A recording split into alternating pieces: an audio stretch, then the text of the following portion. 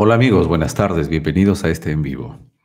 Imagínate que un, un analista, un microbiólogo, un- una persona que hace análisis clínicos, está analizando el nivel de hemoglobina de un familiar muy querido. A él le gustaría encontrar un buen nivel de hemoglobina, óptimo. Ese es su pensamiento. Pero imagínate que al observar las muestras de sangre de su pariente, encontrara que el nivel realmente es bajo, 3, muy bajo. Ahora hay una descoordinación entre la realidad, 3 de hemoglobina, y su pensamiento y su deseo. Quiero que esté en 12, 13. La cuestión es, ¿qué escribirá en su, en su informe? 3, pues, 3. Pero, ¿y si escribiera él 12? Porque piensa, considera que ese es un buen nivel de hemoglobina y que eso, pues, le ayudaría a su familiar. ¿Qué tanto de bien le haría a su pariente? Pues muy poco. Algo semejante ocurre con nosotros y la realidad. Cuando la realidad no nos gusta, entonces cometemos un error. Tenemos la misma situación. Hay una diferencia entre lo que pensamos y lo que dice la realidad. La realidad dice, te fueron infieles, pero tu pensamiento te dice, no, no puede ser, no acepto esto, es inaceptable, me siento fatal. El ser humano tiende a pensar de forma mágica, es decir, llega a conclusiones sin evidencia suficiente. Entonces, bajo esta premisa, los seres humanos decimos cosas como no, me niego a aceptar que esto es así. Por lo tanto, concluyo que a pesar de tu infidelidad, no, tú sí me amas de alguna manera. Tú sí me quieres. Estoy convencido. Lo que pasa es que tú estás confundido, confundida. Pero ¿es ese un punto de vista realmente saludable? No. Por eso, cuando una persona ante la infidelidad llega a esta conclusión, yo valgo menos, mi valor está disminuido, tenemos que detenernos y preguntarnos, ¿cómo es posible que el valor de un ser humano se vea realmente disminuido solo porque alguien le rechaza? ¿Cómo el rechazo de una persona va a mermar realmente el valor de otro ser humano? Es imposible. Es decir, alguien te puede rechazar, pero eso no te obliga a rechazarte a ti mismo o a ti misma. ¿No es cierto? Entonces, tú puedes mantener un buen nivel de autoestima si aprendes a pensar correctamente. El problema está cuando lo que tú te dices en tu mente no coincide con lo que realmente... Entonces, si tú te dices cosas como, por ejemplo, no me deben ser infieles las personas o mis parejas, porque eso significará que yo soy menos valiosa, no soy querible y que soy realmente menos atractiva que los demás, ahora tú te engañarás. Y entonces huirás de toda posibilidad de ser rechazada y te meterás en problemas. Ten cuidado con eso, por lo tanto. ¿Cómo están, amigas y amigas? Bienvenidos. Buenas tardes, Alexandra. Rocío, necesito pensar correctamente. Es lo mejor, realmente. Claro que sí. Carla, mi esposo me fue infiel, me dice que me ama mucho, que no quiere perderme, pero siente demasiada culpa y demasiado coraje con él mismo para mirarme y tratar de estar bien. Ok, la culpa es el resultado de autoexigencias muy elevadas. no debí hacer esto, negando que uno falló, se equivocó y metió la pata. Pero no, hay que aceptar los propios errores, hay que aceptar la propia responsabilidad. No me gusta esto que he hecho, ¿de acuerdo? Sin embargo, acepto que lo he hecho. Acepto que fallé y por lo tanto, ¿qué debo hacer para mejorar? ¿No? Otro elemento relacionado con la excesiva culpa por la infidelidad tiene que ver con el yo moví todo, absolutamente. Eso tampoco es cierto. Es decir, claro, tú decidiste. La infidelidad es el resultado de una decisión. Pero ciertamente otros elementos tuvieron que presentarse. Tú no eres una especie de Dios para ser así y que otra persona se presente. Por ejemplo, tuvo que existir otro ser humano, otra mujer, que concordara en estar contigo. No para que, no te digo esto para que usted, o sea, para que el, esposo diga, ah, entonces porque se me presentó, yo cedí y no me quedó de otra. No, de ninguna manera. Sino para señalar el hecho de que hay otros ingredientes en la realidad que también tienen cierto peso, aunque el mayor de todos lo tiene el propio infiel. Pero esta ya es otra forma de pensar, muy distinta a la creencia yo soy culpable de absolutamente todo, como si fuera un semidios que lo manejó todo, todo. ¿No? ¿Cómo está Alsacia? Buenas tardes. Saludos hasta República Dominicana. Gracias a usted. Alexandra, siete años de convivencia. Una niña de cinco, a días de dar a luz al segundo. Varias infidelidades y faltas de respeto. Y él no se va.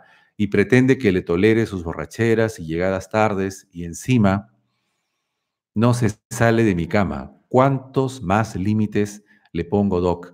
Mi pregunta, estimada Alexandra, es, ¿pero realmente usted ha puesto límites? Es decir, vamos a ver, son siete años, varias infidelidades, y usted se embarazó otra vez. A pesar de todo esto y de las faltas de respeto constantes, borracheras, etcétera, etcétera. Entonces mi pregunta, con todo cariño y respeto, es, ¿realmente usted ha puesto límites? Pregunto. Por cierto, si tú me estás escuchando y no te has suscrito, pues te invito a hacerlo y a poner un like al video o a este mecanismo de nuestro canal de preguntas y respuestas. Entonces, esa es una buena pregunta, estimada Alexandra. No intimo con él desde que le descubrí. Le bloqueé en las redes y en casa no le hago comida, ni ropa, ni nada. Y sigue ahí quitándome mi paz y estresándome. Estimada Alexandra, esto otra vez nos devuelve a la misma pregunta. Está bien, usted no intima con él, bloquea, pero ¿por qué? ¿Por qué no toma una medida más drástica? ¿Por qué? porque tiene en el fondo alguna esperanza de cambio, porque en el fondo tiene cierto temor al qué ocurrirá después y si le pierdo completamente, porque abriga alguna esperanza, la esperanza requiere de bases sólidas para existir, porque si no, estamos hablando de una ilusión nada más, de castillos en el aire. ¿Cómo está, Carlita? Muchas gracias por su respuesta. ¿Cree que la terapia ayude para eso de la culpa? Miren, lo bueno de estos, um, de estos conversatorios con, con relativamente pocos asistentes es que esto permite que profundicemos en los respectivos casos. Alexandra tiene cinco comentarios y es excelente, ¿no? Yo le puedo ayudar un poquito más y comprender mejor. Me dice Carla, ¿cree que la terapia ayude para eso de la culpa y el remordimiento que él siente? Sí, claro. Pero la terapia debe estar orientada en este caso a trabajar la culpa, a trabajar la culpa. Y la culpa se trabaja con manual en mano para que no se nos escape nada. Bueno, es mi forma de trabajar, usted perdone, pero la culpa hace mucho daño. Entonces, hay que analizarla desde todas las aristas posibles para que nada se nos escape. Porque esto es como un neumático que se pincha y uno no sabe por dónde se ha pinchado. Entonces hay que ubicar exactamente dónde está el pinchazo o los pinchazos. Podemos tapar uno, pero ¿y si hay otro escondido? Iremos por carretera unos kilómetros más y otra vez el problema. Así es la culpa. La culpa puede pincharse por varios lados. Culpa porque a veces hay culpa por pinchazo número uno, porque yo debí anticipar que todo esto iba a pasar, debí verlo claramente. Y como no lo vi, me siento súper culpable. Ese es un error, pero hay que cubrir. Hay un pinchazo por allí. Pinchazo número dos. Es que yo como esposo o como padre debí darme cuenta completamente de todo esto.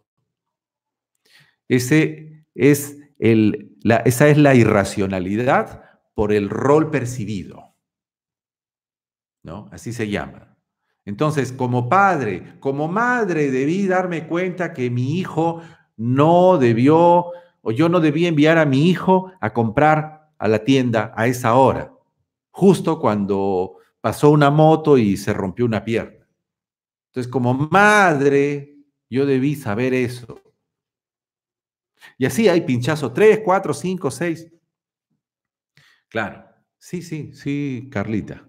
Bisel, mi esposo ha sido infiel varias veces. En esta oportunidad, desde hace meses, casi no está en casa, sale solo siempre y le molesta que le diga lo triste que estoy por su comportamiento.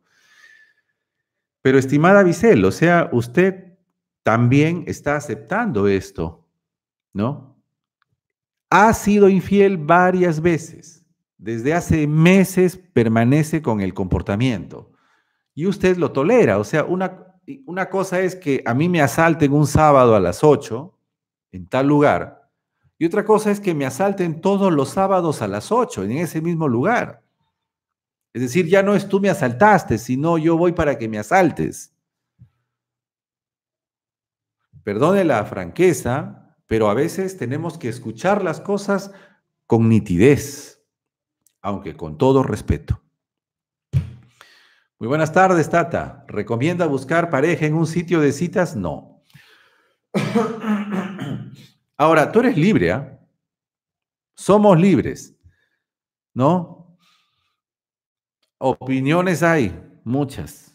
Si supieran ustedes la cantidad de pacientes que tengo por las decepciones debido a buscar pareja en un sitio de citas. No, pues mil veces con alguien que conoces, que puedes ver, que no va a esconder su perfil, que no esconde una vida, o por lo menos que, eh, que, que, es menos probable que pueda engañarte. ¿No es cierto? Claro. No estoy diciendo todos los que están en, las, en los grupos de citas son unos este, mentirosos, etcétera. No, no, no, no. Pero yo te pregunto, si tienes una pizzería aquí al frente, donde puedes ir, sentarte y degustar y elegir y pedir tus ingredientes, ¿no? Estamos en eso con mis hijos. Vas, pides tus ingredientes, ¿no? Esto, esto, esto, lo otro, y te sientas y lo disfrutas. Y si algo está mal, vas y pides que te lo cambien, etc. ¿Te vas a arriesgar a pedir online en una pizzería que tú no sabes, que tú no conoces, que está al otro lado del país, bueno, de la ciudad, que tardará, que no sabes si llegará frío o caliente, y donde no habrá posibilidad casi de reclamo, teniéndolo al frente. Bueno, es que alguien dirá, no, pero es que no están al frente las parejas. Sí, lo que pasa es que no te lanzas. Muchas veces se busca en un sitio de citas, no porque no haya al lado, sino porque tienes temores, porque no enfrentas, porque te da miedo mostrarte, porque te bloqueas. Ah, eso es otra cosa. Y claro, en un sitio de citas no existe este temor, ¿no? Pero igual, pues, o sea, eh, ¿cómo lo pagas? ¿A qué coste? Agradezco de antemano su respuesta. Gracias, Tata. Fabiola, buenas noches desde Madrid. Noches en Madrid, sí, cuatro, once y media de la noche. Mi esposo me fue infiel cuatro veces, de las cuales nació una niña extramatrimonial. Ahora se fue de casa y ya vive con otra. Se fue diciéndome que hace mucho que se quiso ir. Y tal vez usted no lo supo ver completamente. Pregunto, ¿ah? Pregunto porque ahora ya vienen las reflexiones, ¿no? Es una gran deslealtad, claro, la que usted ha sufrido, enorme, ¿no? Claro que sí. ¿Cuántos años, no? Habrán transcurrido y simplemente la persona se va porque busca su felicidad, ¿no? Esa es la, la tónica actual. Tú busca tu felicidad, ¿no? Como me dijo un paciente, yo fui a pedir ayuda. A ver, ¿me quedo con mi esposa o me voy con mi amante? Tengo dos niños, yo quiero a mis hijos, yo quiero estar con mi familia, pero mi amante me vuelve loco. Entonces, ¿qué debo hacer? Y la respuesta, lo que te haga más feliz a ti. Tremendo, tremendo, ¿no? Bueno, Araceli, muy cierto, Doc, hay que saber dónde encontrar pareja, claro, claro. Eloísa, hola, soy de México, mi esposo me fue infiel a los cinco años de casados y en la actualidad tiene tres años viviendo con su amante y me dice que lo aguante, o sea, que lo espere, que no la puede dejar y yo lo hago. ¿Y usted qué va a hacer, Eloísa? Usted, yo, para empezar, yo pregunto, ¿cómo se puede amar a alguien deshonesto? Lo que pasa es que usted recuerda el afecto que le tenía. El eco del amor se queda, permanece. La ilusión, la idealización de la persona. Usted ve a la persona, pero no se da cuenta que por dentro ya cambió. Es pura cáscara, puro cascarón nada más. En ese sentido, en el sentido del amor de pareja de la lealtad de pareja. Claro, tres años viviendo con sus amantes y espérame porque no las puedo dejar. Y usted me dice, yo lo amo. Para amar uno debe ver cualidades. Yo puedo amar lo bueno, lo saludable, lo nutritivo, lo edificante. Pero yo puedo amar a la cocaína, no, soy dependiente de la cocaína, que es diferente. Es un ejemplo extremo, es una hipérbole para dejar clara una idea. No estoy diciendo que su marido sea cocaína. A lo que yo voy es, cuando usted dice yo lo amo, ¿a qué se refiere? O sea, analicemos. ¿Usted ama un recuerdo, una idealización o ama a una persona? ¿Usted recomendaría a uno de sus hijos, mira hijo, búscate una mujer infiel? Búscate una mujer mentirosa, engañosa, doble vida, doble estándar, doble criterio, que se acueste con otros hombres y ámala. ¿Usted le diría eso? No, no se puede amar a una persona así. Poder se puede enganchar, depende, pero amor del edificante, eso no es. Procesos afectivos tenemos muchos. Todos podemos este, tener una medida de, pero amor del edificante, usted me dirá, Eloísa. Quizá esté equivocado, Dígamelo, coméntemelo. Yo le, le leo. ¿Cómo está Shirley Bedoya? Buenas tardes. El padre de mis hijos quiere regresar a vivir con nosotros, pero ha estado ida y vuelta con su, con su amante más joven y según, según él ya la dejó. ¿Pruebo regresar? ¿Cuánto tiempo ha estado ida y vuelta? ¿Cuánto tiempo? Ah, y, y, o sea, el, sí, pues el periodo, meses o años, ¿no? Y por cada, y, y cuando se iba, ¿cuánto tardaba en volver? Saludos, Piloquico, hasta Brasil. Alexandra Alcántara, gracias por esos consejos, tiene toda la razón. Y no sabe cuánto me culpo de este infierno que vivo, pero estoy a expensas de él, por eso no tomo medidas drásticas, pero ¿qué más puedo hacer? Claro. Pero, ¿qué más puede hacer? O sea, ¿va usted a esclavizarse en vida? ¿Qué va a hacer? O sea, siempre hay algo que se puede hacer. Lo que pasa es que puede ser muy cuesta arriba. Eso sí, ni hablar. Muy cuesta arriba puede ser, sí. Pero, ¿por qué a expensas? ¿Por qué? ¿Por el tema económico? Entiendo, sé que es muy difícil eso. Lo palpo, lo vivo, lo observo. Pero entonces, desde mañana o desde ahora veo el modo como yo trabajo, o si es que es por eso. Claro, pero si uno dice, no, ya, estoy despensa, listo, ya no hay más, pues. Sí, dice Eloísa, lo idealicé y él me engañó y yo sigo llorando. ¿Hasta cuándo, Eloísa? ¿Hasta cuándo? Porque él no va a cambiar. O sea, no nos engañemos. Y si cambia, pues cambiará porque pasó el cometa Halley y alguna vibración lo hizo cambiar. O sea, algo que usted no va a poder controlar, quiero decir. Si cambia, cambiará, pero no porque usted haga algo ya. Y eso pues es esperar a que pase el cometa Halley. Evelyn, el autocontrol es un ingrediente para superar las decepciones amorosas y para no tropezar con la misma piedra. Muy bien. Tres años, Shirley. Tres años, mucho tiempo. Mucho tiempo. O sea, tres años va, viene, va, viene. No.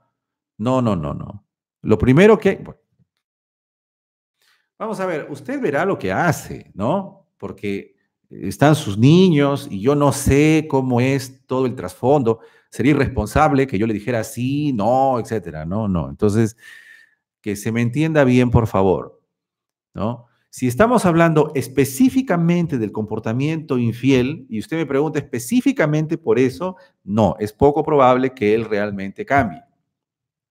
¿No?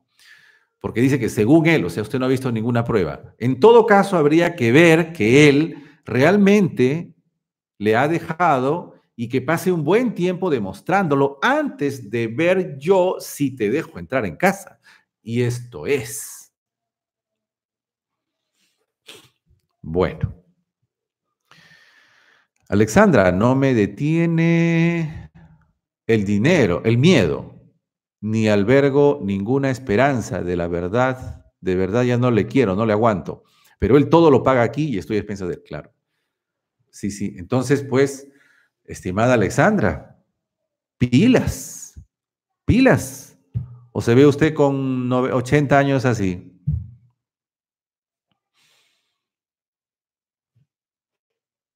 Fabiola, ¿puede un hombre amar a otra sin conocerla? como para ir a vivir con ella, habiéndola conocido solo 15 días, no, no se puede amar en 15 días. No se puede desarrollar amor profundo. Ahora que yo me entusiasme, me apasione, tenga una misión y me voy contigo y luego con el tiempo resulta que coincide y que yo construyo y que yo desarrollo amor con el tiempo, eso sí. Eso sí. Pero con 15 días, no, no se puede, pues, no se puede. ¿No? Usted puede tener un amigo, amigote, amigazo de toda la vida en 15 días. No se puede. No, pues ese es un entusiasmo, un apasionamiento, una enorme corazonada. Eso es, eso, es una, una enorme emoción, ¿no? Claro, las emociones mueven mucho, mucho. Si no hay un ente rector, un razonamiento, ¿no? Que dirija el comportamiento. ¿Qué me dice Shirley? A ver, yo me fui a vivir con mis padres y él nunca me dejó. Cuando venía a ver a mis hijos, estaba conmigo. Y cuando él regresaba a su casa, estaba con ella. Todo lo supe porque ella me mostró las pruebas. Mm. Ya, entonces, estimada Shirley, tres años ejecutando un comportamiento la persona se habitúa a él. Tendría que ocurrir un, un, evento, muy potente, muy poderoso, tendría usted que asegurarse bien por qué, qué te mueve.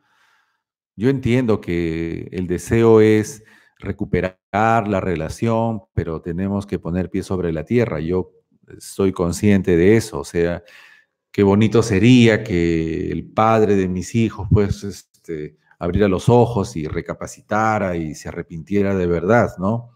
Pero para llegar a, o sea, para, si, si eso sucediera, pues yo tengo que verlo claramente.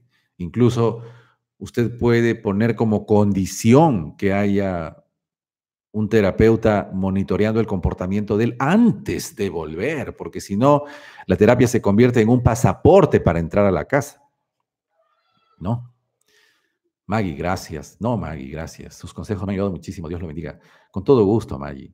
Cecia, él se fue recién con su amante para sacarle plata. Ella lo mantiene, pero quiere llevar doble vida conmigo. Solo quiere, dice, sacarle de dinero y luego fugar con ello. Infidelidad es infidelidad, amigas y amigos. O sea, o sea, sea que robé para comprarme un auto o para jugármelo todo en las máquinas tragamonedas, es un robo. ¿No es cierto? O sea, voy con mi amante, pero no es por amor, es para sacarle plata. O sea, peor todavía. O sea, peor todavía. ¿Ante quién estoy? Ante alguien que ve a la gente como un objeto. Pero si usted se tranquiliza por eso, entonces da más realce al no, sí, tú me amas, y no al, oye, mira cómo estás utilizando a otro ser humano como un objeto.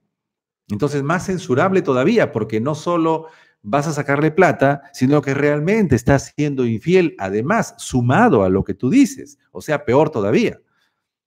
En otras palabras, menos peor sería si solo te fueras, estuvieras con ella porque, porque es una mujer, porque quieres formar un lazo, un vínculo, ya.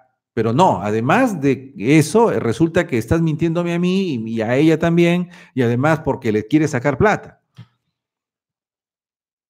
¿No? Ajá, ¿cómo está Jill Carter? Bienvenida. No se puede amar lo que no se conoce, lo dijo usted. Feliz domingo para todos. ¿Es verdad? Es verdad, sí. Gracias, Shirley, gracias, gracias. Espero que usted pueda tomar la mejor decisión viendo claramente y que todo resulte para bien, para bien, Shirley. Ya nos contará usted cómo le va.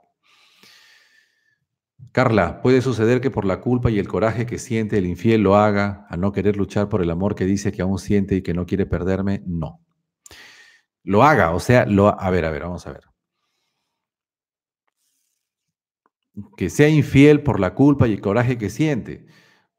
Ya, las emociones pueden ser variadas. ¿Qué emoción me mueve? La cuestión es qué razonamiento, qué argumento, qué creencias me empujan a hacer esto que hago, a ser infiel. Porque esas son las convicciones que mantienen el comportamiento. Luchar por el amor y que no quiere perderme. ¿Y por qué no le quiere perder?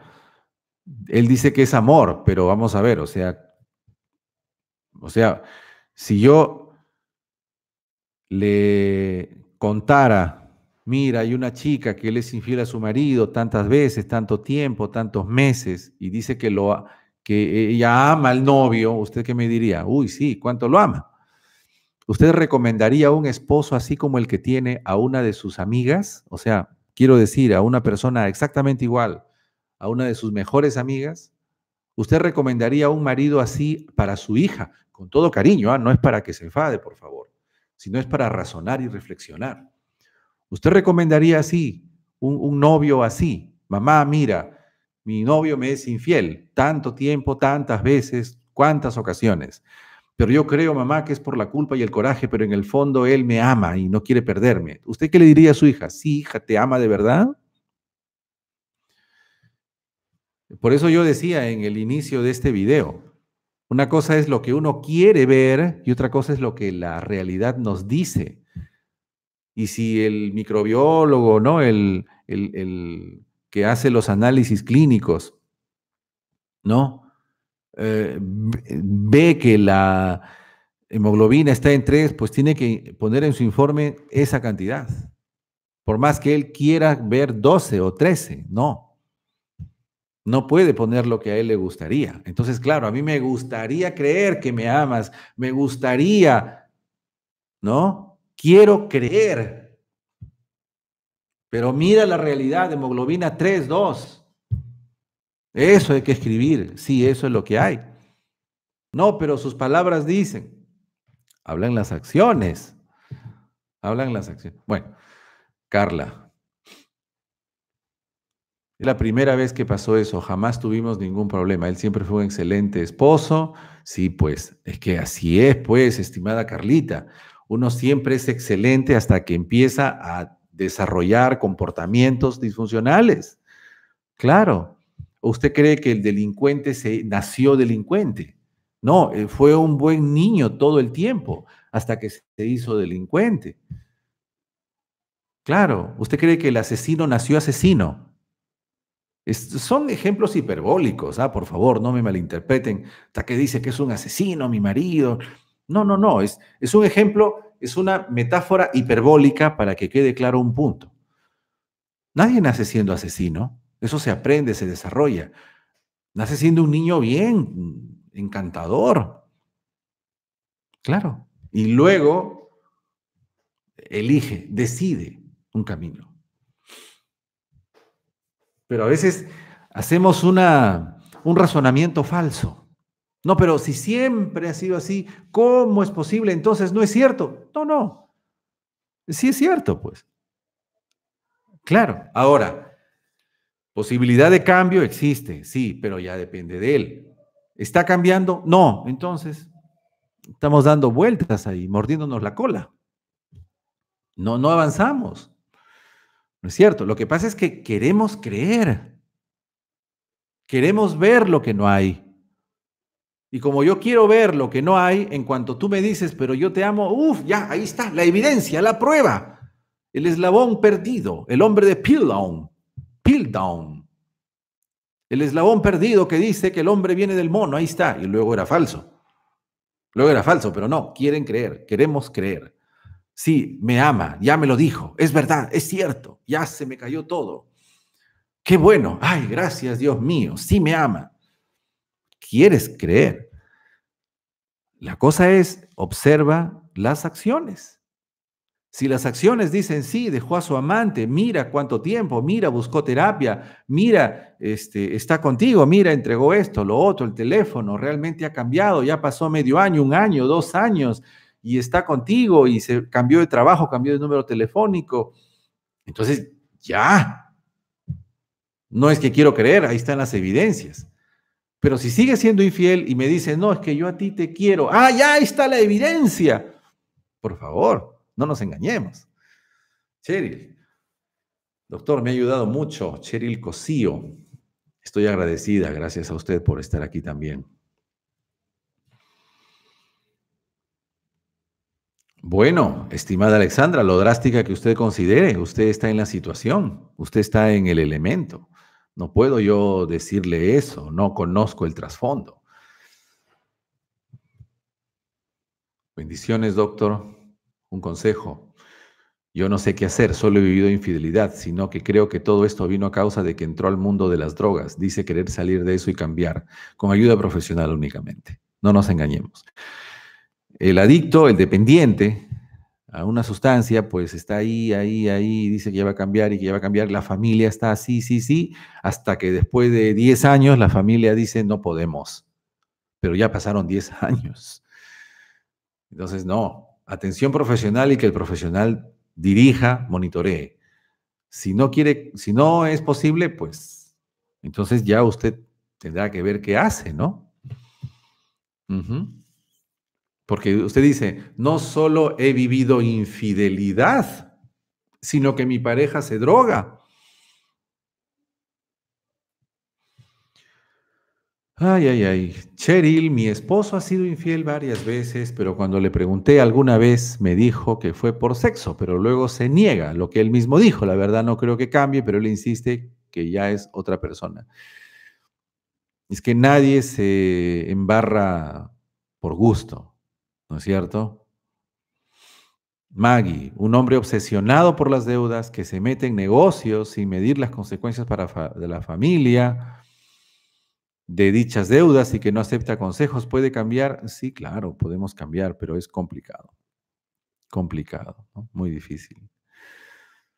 Lo que sí podemos hacer es no involucrarnos en este tipo de comportamientos con él para no pues ser responsables también de lo que él de los problemas en los que él se mete, ¿no?